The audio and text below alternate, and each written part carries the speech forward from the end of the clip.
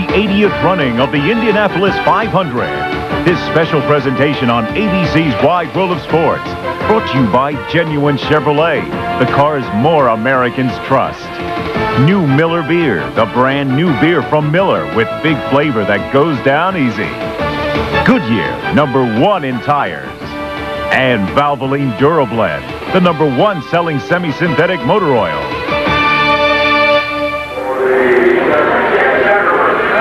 Here in Victory Lane, the hallowed grounds of the Indianapolis Motor Speedway, Buddy Lazier, racked with pain, trying to lift himself right out of the car, getting the congratulations of his crew.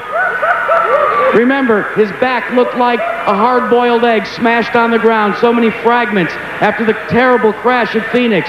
But his father came up and was the first to congratulate him. Another second-generation driver. His father qualified here at the Indianapolis Motor Speedway, but now his son has found his way to winning the 80th running of the Indy 500.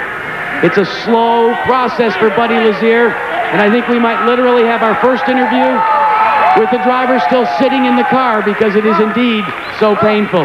Buddy, finally, a win in the Indianapolis 500. When did you begin to dream about this?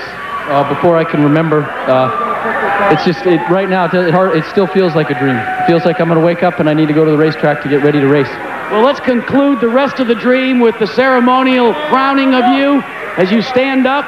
You can see the pain, but this is happy pain as the Borg Warner Trophy has been placed behind Buddy Lazier and now the winner's wreath. Young man, you join an elite group now as a winner of the Indianapolis 500. Yeah, I'm sorry. Welcome to the Indy 500 winner's circle.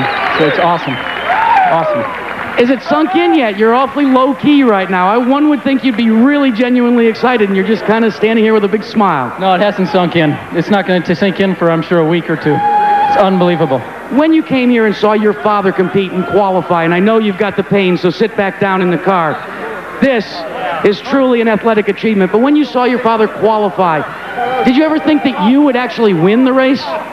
I don't know. You know, you dream about it and you feel like like like you've got some ability, but you have to have a car like like these guys, Hemelgarn Racing, Delta Faucets, and Montana gave me a great race car. Well, congratulations. Celebrate now with the ceremonial swig of milk, and let's go back to the tower. His first IndyCar win, and it's the one that counts. The Indianapolis 500. But as he was crossing the finish line, taking the checkered, Roberto Guerrero lost control spins there and he gets up into the Look at Zampedri. Whoa, I've never seen that red car get up like that into the fence. He's upside down still right there. Now he hits Salazar. He's still upside down and it flips him back over. Unbelievable. Unbelievable accident right there. Another look at it. Here comes oh, Guerrero. Oh, just, he loses it. He just loses it. Whoa. Whoa. Up so high over the top of the camera. And those two guys were, look at that. The force in that just took those unbelievable accidents. Well, that hit on the fence by Zampedri flipping upside down was unbelievable. This is from Salazar's car.